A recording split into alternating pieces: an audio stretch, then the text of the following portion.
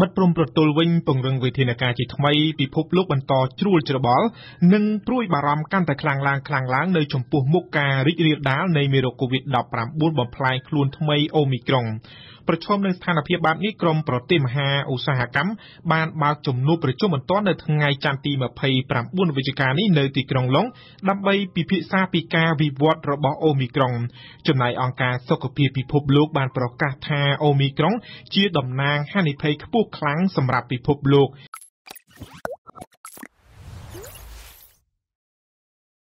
តើអូមីក្រុងពិតជាកំណាចនឹងឆ្លងខ្លាំងជាងមេរោគបំផ្លាញមុនមុនឬទេតើគេបានស្គាល់អត្តសញ្ញាណរបស់អូមីក្រុងខ្លះហើយឬនៅ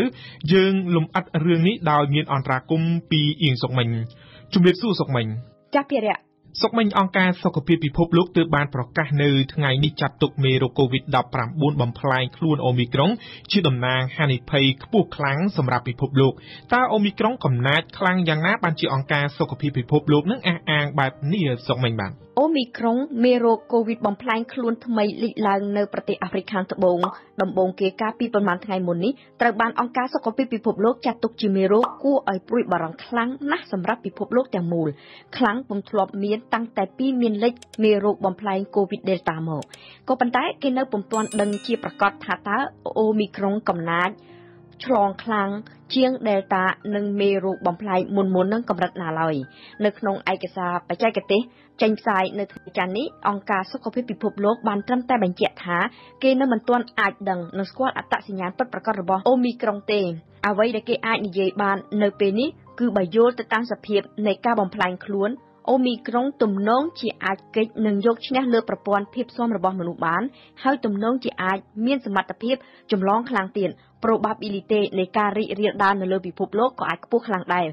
ហើយបើតាមទិន្នន័យបឋម អូមីក្រុងមានសញ្ញាហានិភ័យខ្ពស់អាចឆ្លងលើអ្នកដែលធ្លាប់ឆ្លងហើយបានទៅទៀតតែដូចជាខ្ញុំនិយាយដដែលដែរចឹងភិរៈដើម្បីបានដឹងច្បាស់ជាក់លាក់អំពីអំណាចចម្លងភាពកំណាចរបស់ អូមីក្រុងនិងទស្សទាយបានអំពីសន្ធឹកនៃការរាតត្បាតរបស់អូមីក្រុងនៅលើពិភពលោក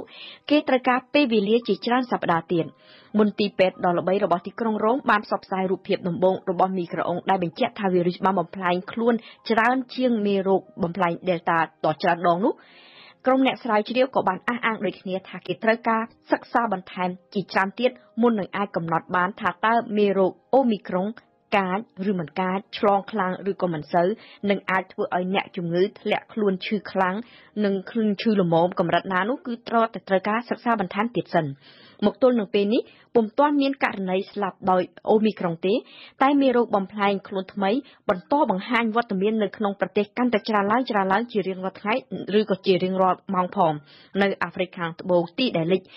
អូមីក្រុងដំបូងគេក្រុមអ្នកជំនាញព្យាករណ៍ថានឹងមានករណីឆ្លងថ្មីជាង10000នាក់ក្នុងមួយថ្ងៃនៅសប្តាហ៍ខាងមុខប្រឈមនឹងស្ថានភាពដូចនេះពិភពលោកឲ្យច្បាស់ជាត្រូវរឹតបន្តឹងវិធានការរបស់ខ្លួនជាថ្មីហើយអាចនឹងមានប្រទេសខ្លះបិទព្រំដែនវិញជាមិនខានមែនទេសុកមិញចាមែនហើយភិរៈគ្រាន់តែបានទទួលដំណឹងពីអាហ្វ្រិកខាងត្បូងថារកឃើញមានមេរោគបំផ្លែងខ្លួនថ្មីអូមីក្រុងភ្លាមបណ្ដាប្រទេសនៅអឺរ៉ុបសហរដ្ឋអាមេរិកអ៊ីស្រាអែលលក្ខណៈលក្ខបានប្រកាសបិទជើងហោះហើរមកពីអាហ្វ្រិកខាងត្បូងនិងបណ្ដាប្រទេសនៅទ្វីបអាហ្វ្រិកចំនួន8ផ្សេងទៀតឥឡូវនេះមានប្រទេសច្រើនបន្ថែមទៀតបានសម្រេចបិទការហោះហើរជាមួយនឹងអាហ្វ្រិកខាងត្បូងដែរហើយមានប្រទេសខ្លះទៀតបានសម្រេចបិទព្រំប្រទល់ប្រទេសខ្លួនវិញតែម្ដង មានជាអាចគឺជប៉ុនតែម្ដងបន្ធូរបន្ថយវិធានការទើបតែបាន3សប្តាហ៍ជប៉ុនបានប្រកាសបិទព្រំដែនមិនទទួលទេសចរបរទេសវិញចាប់ពីថ្ងៃអង្គារទី30វិច្ឆិកាស្អែកនេះតទៅអូស្ត្រាលីក៏ប្រកាសលើកពេលបើកព្រំដែនទទួលនិស្សិតនិងពលករបរទេសដែលគ្រោងធ្វើនៅថ្ងៃទី1ធ្នូដែរហ្វីលីពីនក៏ផ្អាកផែនការបើក ប្រទេសទទួលភ្ញៀវទេសចរបរទេសដែលថាបានចាក់ថ្នាំអង្គការរួចនឹងសិនមួយរយៈទៀតម៉ារ៉ុកវិញសម្រាប់បិទព្រំដែនផ្អាកទំនាក់ទំនងផ្លូវអាកាសទាំងស្រុងតែម្ដងរយៈពេលសប្តាហ៍ ពីសប្តាហ៍ចាប់ពីថ្ងៃស្អែកទៅដោយសំអាងថាប្រទេសគ្រប់គ្រងកូវីដបានល្អហើយមិនចង់ឲ្យមានរលកថ្មីកើតឡើងនៅក្នុងប្រទេសបានទៀតទេនៅអឺរ៉ុបវិញភារៈរដ្ឋមន្ត្រីក្រសួងសុខាភិបាលនៃក្រមប្រទេសមហាឧស្សាហកម្មទាំង7ហៅកាត់ថា G7 នោះគឺបារាំងអង់គ្លេសអាមេរិកជប៉ុនកាណាដានិងអ៊ីតាលីនាំគ្នាជួបប្រជុំជាបន្ទាន់នៅទីក្រុងឡុងនៅថ្ងៃនេះដើម្បីពិភាក្សាអំពីដំណើរវិវត្តរបស់មីក្រូអ៊ុងនេះឯងនៅក្នុងប្រទេសដែលឃើញរកឃើញមានករណី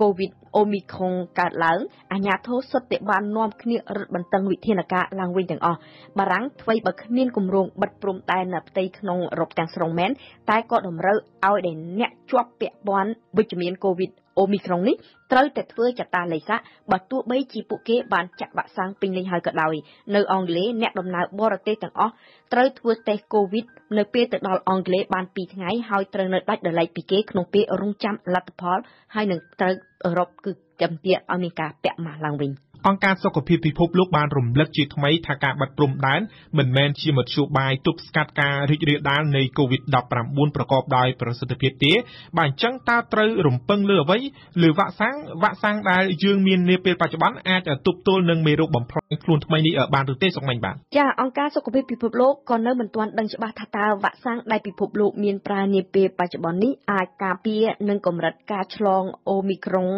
បានត្រឹមកម្រិតណាហើយថាតើបើសិនជាបានឆ្លងហើយតើវ៉ាក់សាំងអាចការពារមិនឲ្យធ្លាក់ខ្លួនឈឺធ្ងន់ឬក៏គ្រាន់តែមានរោគសញ្ញាខ្លាំងគឺគេមិនទាន់បានដឹងទាំងអស់ទាំងអស់នេះគឺក៏ត្រូវការពេលវេលាដែរភារៈក៏ប៉ុន្តែខាងមន្ទីរពិសោធន៍ឱសថមិនថាជាក្រុមហ៊ុន AstraZeneca, Pfizer BioNTech ក្រុមហ៊ុន Moderna និង Novavax សុទ្ធតែបានអះអាងថាពួកគេមានទំនុកចិត្ត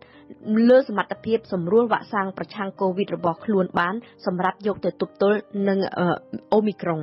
បាទតាមលោកស្រីប្រធានគណៈកម្មការអឺរ៉ុបមន្ទីរពិសោធន៍នីមួយៗត្រូវការពេលវេលាយ៉ាងហោចណាស់ពី2ទៅ3សប្តាហ៍ទើបអាចសម្រេចបានថា គួរតែកែសម្រួលថ្នាំវ៉ាក់សាំងរបស់ពួកគេឬអត់ដើម្បីប្រយុទ្ធប្រឆាំងនឹងអូមីក្រុងក្នុងពេលរងចាំនេះប្រទេសខ្លះបានជំរុញនិងពន្លឿនយុទ្ធនាការចាក់ថ្នាំបង្ការដូសទី3ហើយវិធីការពារនឹងទប់ទល់ដល់ប្រសើរជាងគេភារៈដើម្បីចំណេញពេលវេលានិងកុំឲ្យការចម្លងរាតត្បាតស្ទុះឡើងលឿនខ្លាំងនោះគឺគ្មានអ្វីក្រៅពីការបង្កើនការប្រយុទ្ធប្រយោងប្រុងប្រយ័ត្នទ្វេឡើងនិងបន្តគោរពវិន័យសុខភាព ពាក់ម៉ាស់នៅក្នុងទីបិទជិតនៅក្នុងទីប្រជុំជនដែលមានកន្លែងភ្ញៀវច្រើន